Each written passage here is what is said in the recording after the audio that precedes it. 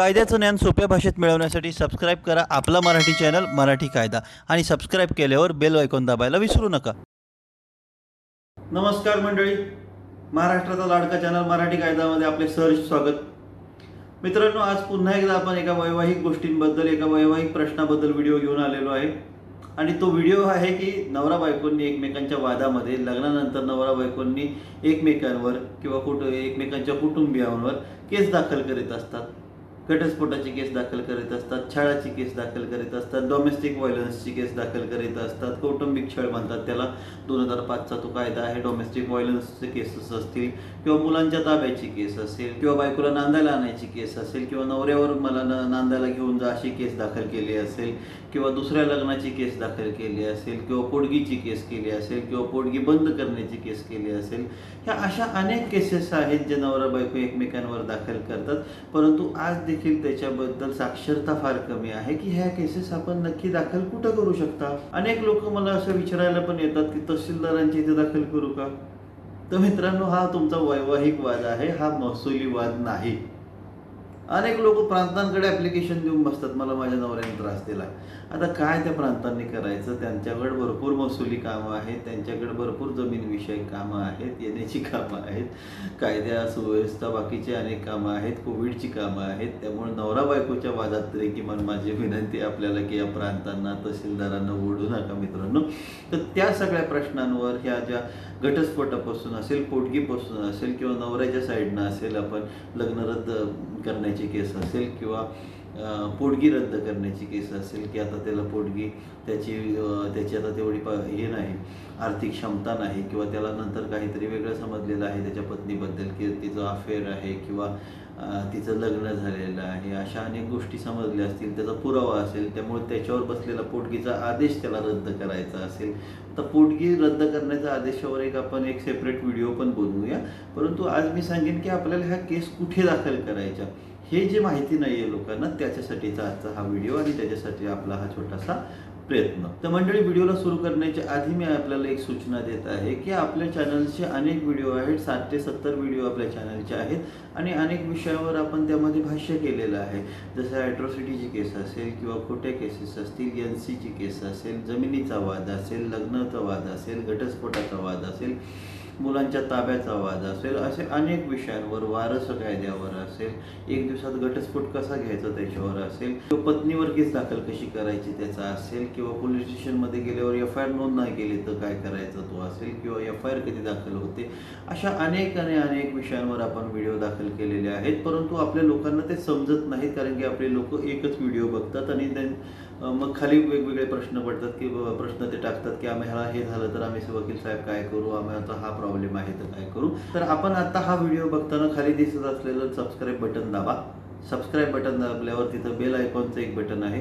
ते बेल आयकॉनचे ते बटन दाबा आणि बेल आयकॉन दाबल्यावर ऑल व्हिडिओज करा. म्हणजे सगळे व्हिडिओज सगळ्यात पहिल्यांदा सगळ्या महाराष्ट्रातल्या इतर व्ह्युअर्सपेक्षा पण तुम्हाला सगळ्यात पहिल्यांदा ते मोफत पाहायला मिळेल. हे सबस्क्राईब करणं बेल आयकॉन दाबणं हे मित्रांनो मोफत आहे त्यामुळं कृपया करून ह्या मराठी कायदा चॅनलचा हा व्हिडिओ बघत असताना चॅनलला सबस्क्राईब करायला विसरू नका. त्यामुळे तुमचे सगळे कायदेशीर प्रश्नांवर मोफत ज्ञान तुम्हाला मिळत राहील आणि मोफत सल्ला तुम्हाला मित्रांनो मिळत राहील. तर मित्रांनो आपल्या विषयाला सुरू करूया की ह्या ज्या केसेस आहेत नवरा बायकोच्या वादाच्या आहेत त्या कुठे कुठे दाखल करायच्या?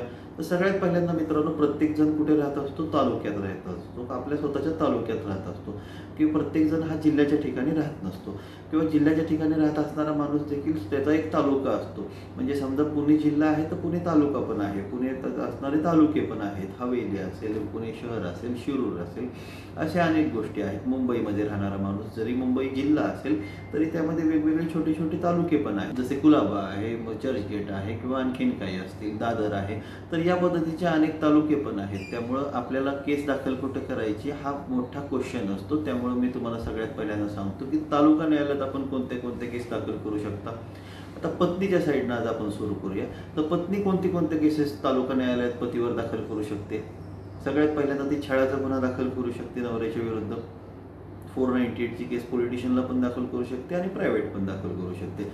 नंबर टू ती नवऱ्याविरुद्ध पोडगीची केस दाखल करू शकते. Section one twenty five C R P C खाली. नंबर थ्री डोमेस्टिक व्हायलन्सची केस दाखल करू शकते ती पंचायत समितीमध्ये पण केस दाखल करू शकते. पंचायत समितीमधून ती केस तालुका न्यायालयात येईल किंवा ती डायरेक्ट पंच तालुका न्यायालयात तिच्या प्रायव्हेट केस डोमेस्टिक व्हायलन्सची पतीवर दाखल करू शकेल. पोटगी वसूल करण्याची केस ती दाखल करू शकेल. त्याचबरोबर तिला वाटत असेल की आपल्या नवऱ्याचं दुसरं लग्न झालेलं आहे बायगॅमी झालेली आहे तर ती पण केस नवऱ्याला शिक्षा मिळावी म्हणून पाचवी केस दाखल करू शकेल. आता या पाच ते सहा केसेस जे आहे ती बायको पतीवर दाखल करू शकते. त्याचबरोबर आपल्याला आता बोललं पाहिजे की पती कोणत्या केसेस दाखल करू शकतो की नाही पत्नीवर? तालुका न्यायालयात तरी किमान. तर तालुका न्यायालयात पती हा पत त्याच्या पत्नीवर पोटगी रद्द करण्याची केस दाखल करू शकतो. म्हणजे त्याची आता क्षमता नसेल त्याची आर्थिक क्षमता नसेल किंवा त्याला आणखीन काही पुरावे मिळाले असतील पत्नीविरुद्ध की तिचा अफेअर आहे किंवा तिचं दुसरं लग्न झालेलं आहे. आणि अशा वेळी तो पोटगी मात्र इकडे भरत आहे आणि त्याची पत्नी मात्र लग्न करून बसलेली आहे. तर असं जर आपल्याला कळालं असेल असं जर एखाद्या पतीला कळालं असेल तर तो पोटगी रद्द करण्याची केस देखील दाखल करू शकतो आणि ती त्याला तालुका न्यायालयात केस दाखल करता येते. त्याचबरोबर आणखीन कोणती केस दाखल करू शकतो? तो पती देखील त्याच्या पत्नीविरुद्ध बायोगेमीची केस दाखल करू शकतो. म्हणजे पहिलं लग्न अस्तित्वात असताना जर त्याच्या पत्नीने दुसरं लग्न केलं असेल घटस्फोटची ऑर्डर नसेल आली घटस्फोटची केस चालू असेल किंवा घटस्फोट झाला नसेल आणि जर तिनं दुसरं लग्न दाखल केलं असेल तरी देखील तिच्यावर देखील तो तिला शिक्षा व्हावी म्हणून केस प्रायव्हेट केस कुठं दाखल करू शकतो? तालुका न्यायालयात दाखल करू तर ह्या होत्या मित्रांनो तालुका न्यायालयात जेम एफ सी कोर्टामध्ये ज्युडिशियल मॅजिस्ट्रेट फर्स्ट क्लास म्हणजे म्हणून मी त्याला लोकांना समजावं म्हणून त्याला तालुका न्यायालय असं म्हणत आहे. तर ह्या केसेस आपण कुठं दाखल करू शकतो? तालुका न्यायालयात केसेस दाखल करू शकतो. आता आपण जिल्हा न्यायालयात कोणते कोणत्या केसेस दाखल करू शकतो? त्याची चर्चा करूया. आता जिल्हा न्यायालय म्हणजे कुठलं? तर किंवा सिनियर डिव्हिजनच्या केसेस म्हणून मी जिल्हा न्यायालय असं म्हणत आहे आपल्याला समजण्यासाठी. तर या केसेस किंवा या जिल्हा न्यायालयात आपण कोणत्या कोणत्या केसेस दाखल करू शकतो? तर सगळ्यात पहिल्यांदा आपण घटस्फोटाची केस दाखल करू शकतो शंभर टक्के. त्याचबरोबर लग्न रद्द करण्याची केस दाखल करू शकतो. आता घटस्फोट आणि लग्न रद्द करणे याच्यावर आपलं भाष्य बरंचसं झालेलं आहे. जेव्हा नॉर्मल काही वाद असतील तेव्हा ती घटस्फोटाची केस आणि ज्यावेळेस आपली फसवणूक झाली असेल हे आपल्याला कळतं तेव्हा लग्नाच्या एक दिवसापासून ते एक वर्षाच्या आत जी केस आपण दाखल करतो त्याला म्हणतात लग्न रद्द करणे. तर ती लग्न रद्दाची करण्याची पण केस आपण कुठं दाखल करू शकतो? सेक्शन अकराखाली जिल्हा न्यायालयात दाखल करू शकतो. आणि सेक्शन तेरा खाली घटस्फोटची केस कुठं दाखल करू शकतो आपण? ती पण जिल्हा न्यायालयात दाखल करू शकतो. आता आपसंमतीने एकमताने घटस्फोट दाखल करण्याची एक प्रक्रिया आहे त्याला म्युच्युअल कन्सेंट डिवोर्स म्हणतात. डिवोर्स बाय म्युच्युअल कन्सेंट म्हणतात. ती केस आपण कुठं दाखल करू शकता? तर ती केस सुद्धा आपण जिल्हा न्यायालयात दाखल करू शकता.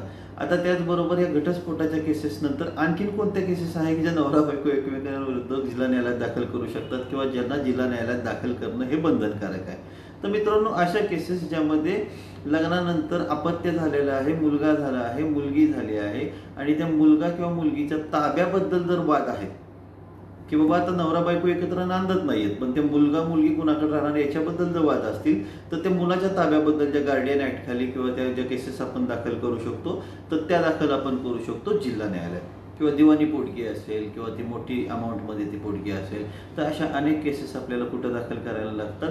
जिल्हा न्यायालयात दाखल करायला लागतात मित्रांनो. तर हे होते मित्रांनो पार्ट की एक एक नवरा बायको ज्या केसेस एकमेकांविरुद्ध दाखल करतात ते कुठं दाखल करतात? कारण की त्यांच्या हे लक्षात येत नाही नेमकं की हे केसेस कुठं दाखल होणार आपली केस कुठं दाखल होणार हे जाणून घ्यायचा नक्कीच आपला अधिकार आहे. तर त्यामुळं हा छोटासा व्हिडिओ आपण केलेला आहे की नवरा बायकोचे जे वाद आहेत ते अनेक वाद आहेत ते आपल्याला तालुका न्यायालयात दाखल करता येतात आणि अनेक असे वाद आहेत जे आपल्याला फक्त जिल्हा न्यायालयातच दाखल करता येऊ शकतात. अनेक वेळा मला मित्रांनो असंही वाटतं की पत्नीला फार अडचण येऊ नये आणि तिला साध्या कोर्टात म्हणजे साधं मी कुठल्या कोर्टाला साधं म्हणणार नाही तसा अवमान करणार नाही परंतु तालुका न्यायालय जे आपल्या जवळ असतं म्हणून त्याला आपण लोअर कोर्ट म्हणतो तर त्या कोर्टात पत्नीला पटकन केसेस दाखल करता याव्यात. म्हणून बऱ्याचशा पत्नीच्या दाखल करण्याच्या केसला ज्युरिडिक्शन किंवा त्या कोर्टाची परिसीमा ही तालुका न्यायालय ठेवली असावी असं काहीतरी असेल. त्याच्याबद्दल आणखीन एखादा व्हिडिओ करता येईल मित्रांनो. परंतु ह्या अशा अनेक केसेस आहेत ज्या तालुका कोर्टात दाखल करता येतील. आणि फक्त ज्या घटस्फोटाच्या केस आहेत ज्या वैवाहिक बंधनातून मुक्त करण्याच्या केस आहेत मोठ्या निर्णयाच्या केसेस आहेत त्या मात्र मित्रांनो जिल्हा न्यायालयात ठेवलेल्या आहेत. सिव्हिल जज सिनियर डिव्हिजन इथं त्या ठेवलेल्या आहेत. सी जे एस जे आपण असं त्या न्यायालयांना म्हणतो. त्यामुळं अशा ज्या केसेस घटस्फोटाच्या किंवा मुलांच्या ताब्या ताब्याच्या केसेस असतील त्या जिल्हा न्यायालयाचंच त्याला ज्युरिडिक्शन येतं. तर हा होता मित्रांनो आजचा आपला व्हिडिओ की नवरा बायकोंच्या वादाबद्दल आपण कुठं केस दाखल करू शकता आणि कधी दाखल करू शकता. मित्रांनो कसा होता आजचा व्हिडिओ आजच्या व्हिडिओबद्दल जर आपले काही प्रश्न असतील तर आपण नक्की विचारा. आपल्या कमेंटला नेहमीप्रमाणे नक्कीच उत्तर देण्याचा प्रयत्न केला जाईल. तर फक्त मित्रांनो मी परत एकदा हात जोडून विनंती करतो आपल्याला की आपण जो टाइम आहे आपला जो टाइम आहे संध्याकाळचा फ्री कॉलचा टायमिंग आहे तो आपण पाळा. जो आर्थिक दुर्बल घटकांसाठी किंवा जे आर्थिक दुर्बल आपले मित्र असतील मैत्रिणी असतील यांच्यासाठी जो टायमिंग ठेवलेला आहे तो संध्याकाळी सात ते साडेसात बुधवार आणि गुरुवार हा ठेवलेला आहे. इतर वेळी आपल्याला फोन करत असताना आपल्याला नेहमीप्रमाणे माहिती आहे की तो पेड कॉल किंवा पेड अपॉइंटमेंट्स मला भेटायचं असेल तर आपल्याला पेड अपॉइंटमेंट्स घ्यावे लागतात. परंतु आर्थिक दुर्बल घटकांसाठी ही सेवा ज्या उद्देशाने हा व्हिडिओ सुरू केलेला आहे तो उद्देश असा आहे की सर्व समाजातल्या शेवटच्या घटकापर्यंत आपला कायदा माहिती पडावा किंवा सल्ला दिला जावा आणि त्यांना सल्ला देणं हे नेहमी मोफत आपल्या कायद्यात कायद्याच्या चॅनलतर्फे चालूच राहील. आणि तो टायमिंग आहे बुधवार आणि गुरुवार सायंकाळी सात ते साडेसात. तर मित्रांनो कसा होता आजचा व्हिडिओ त्याबद्दल कमेंट करून नक्कीच सांगा. आणि चॅनलला सबस्क्राईब करायला विसरू नका मित्रांनो. आजच्या पुरती आपली रजा घेतो. जय हिंद जय महाराष्ट्र.